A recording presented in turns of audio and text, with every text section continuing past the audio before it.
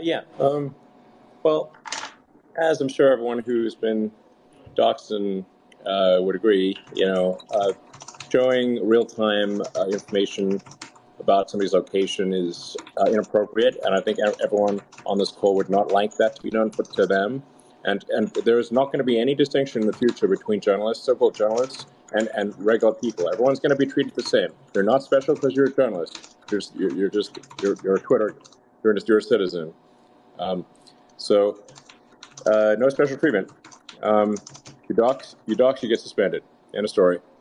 Um, so and and and and, Elon, and, and, you- and do you- ban evasion, ban evasion, or like or, or trying to be clever about it, like oh, I posted a link to the real time information, is obviously uh, just, uh, that is obviously simply trying to evade the, the, the meaning. That is there's no different from than paste than actually showing real time information.